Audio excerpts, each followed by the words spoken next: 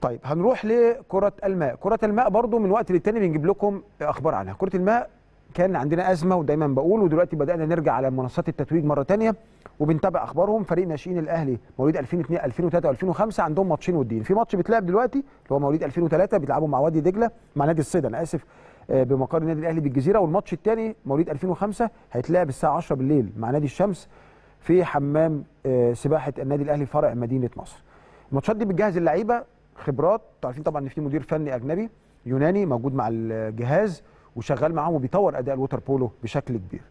آه، فريق 2003 بيدربه كابتن أحمد هشام نشأت فوليد مواليد 2005 بيدربه كابتن توفيق حماد.